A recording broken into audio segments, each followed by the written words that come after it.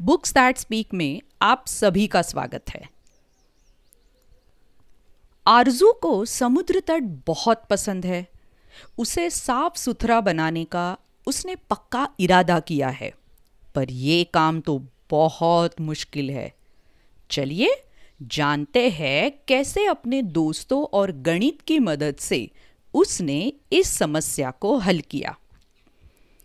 कहानी का शीर्षक है समुद्र तट का सफ़ाई अभियान। Original story the big beach clean up by Pratham books कहानी लिखी है चंदिनी छाबरा। चित्रांकन आशा, सुजन, एलेक्स। हिंदी में अनुवाद, पूजा बहानवाल। कहानी सुना रही है आसावरी दोषी। आरज़ू को दुनिया के किसी भी स्थान से अधिक समुद्र तट पसंद था। वहाँ वो अपने पसंदीदा जीवों को देख सकती थी। अपना मनपसंद खेल खेल सकती थी और अपना पसंदीदा पेय, यानी कि नारियल पानी भी पी सकती थी। वो अपने सबसे अच्छे दोस्त उम्मीद के साथ जितनी बार भी जा पाती, समुद्र तट पर जाया करती थी। एक दोपहर उन्होंने ताता को अपनी नारियल की दुकान सजाते हुए पाया। ताता, ये कौन सा समुद्र तट है?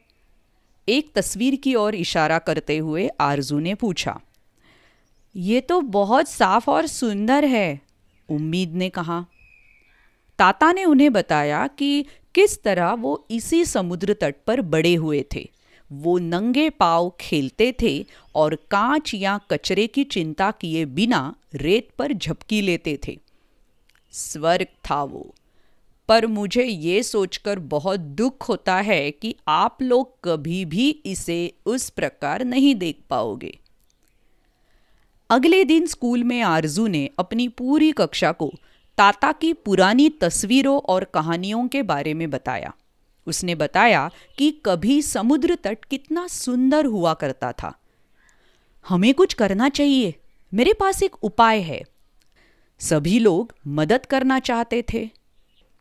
आरज़ू ने उन्हें अपना बनाया हुआ नक्शा दिखाया।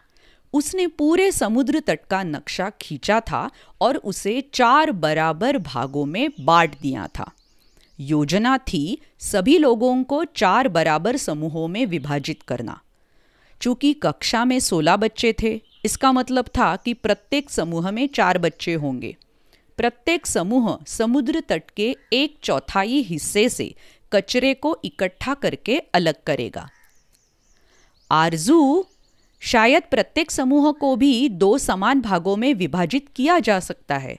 आधा हिस्सा कचरे को इकट्ठा कर सकता है और आधा हिस्सा उसे अलग कर सकता है, दिया ने कहा। ये तो बहुत बढ़िया सुझाव है, आरज़ू ने जवाब दिया। चार का आधा दो होता है, इसलिए हम में से दो कचरे को इकट्ठा करेंगे और दो अलग करेंगे। वाह, मैंने कभी नहीं सोचा था कि हम गणित की कक्षा में सिखाई जाने वाली चीज़ों को, वास्तविक समस्याओं को हल करने में इस्तेमाल करेंगे, उम्मीद ने कहा। तुम्हें क्या लगता है, हमें गणित क्यों सिखाई जा रही है? आरज़ू ने खिलखिलाते हुए कहा, शनिवार को जिस दिन ताता की छुट्टी थी, सभी बच्चे समुद्र तट पर इकट्ठा हुए। उन्होंने सामग्रियों को चार समान भागों में बांटा। अभी सामान क्या क्या मिल सकता है? नुकीली और गंदी चीज़ें उठाने के लिए रोटी वाला चिमटा। कुल मात्रा आठ, प्रत्येक समूह के लिए एक चौथाई मतलब दो दो। उसके बाद कचरा इकट्ठा करने के लिए बोरिया, कुल मात्रा 16 प्रत्येक समूह के लिए एक चौथाई, यानी कि चार चार बोरिया।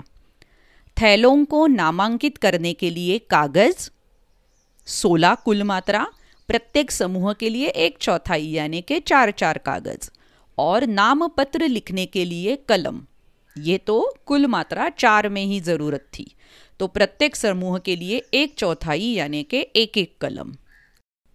पहले घंटे में सब लोगों ने मिलके कचरा जमा किया और दो लोगों ने कचरा विभाजित किया। दूसरा घंटा। उसके बाद तीसरा घंटा। चौथा घंटा। सूर्यास्त के समय अबू वादे के अनुसार कचरे वाले ट्रक के साथ आए। उन्होंने ट्रक में भरने से पहले सभी बोरियों का वज़न किया। बच्चों ने 120 किलो कचरा इकट्ठा किया था। 30 किलो कांच और कागज़ है, जिसको पुनः चक्रित यानी कि रिसाइकल किया जा सकता है, उन्होंने कहा। 120 किलो में से 30 किलो, ये तो एक चौथाई है, आरज़ू बोली। अब बचता है 90 किलो, जिसका अर्थ है कचरे का तीन चौथाई हिस्सा प्लास्टिक है, उम्मीद ने कहा। हाँ अबू ने हामी भरी। हम इसे ले जाएँगे और फिर से अलग करके देखेंगे कि किन चीज़ों का पुनः चक्रण या पुनः उपयोग किया जा सकता है, यानी कि रिसाइकल या रीयूज किया जा सकता है। बाकी लैंडफिल में जाएगा। रविवार की सुबह सभी लोग जल्दी आ गए और ताता का इंतज़ार करने लगे। सरप्राइज़ इतना साफ़ सुथरा समुद्र तट देख के ताता की आँखें भर आई। इस बार खुशी से मुझे नहीं लगता था कि ये संभव है, उन्होंने कहा। आरज़ू ने एक बड़ी सी मुस्कुराहट बिखेरी। सब कुछ संभव है ताता, बस थोड़ी सी मेहनत का काम था। और थोड़ा गणित, उम्मीद खिलखिलाते हुए बोला। कैसी लगी ये अनोखी कहानी? तो और ऐसी बहुत सारी कहानियाँ सुनने के लिए बुक्स दैट स्पीक पर ज़रूर आइएगा। हमारा चैनल यूट्यूब और अलग अलग पॉडकास्टिंग चैनल्स पे अवेलेबल है। तो मिलते हैं अगली कहानी में। तब तक के लिए बाय बाय शुक्रिया।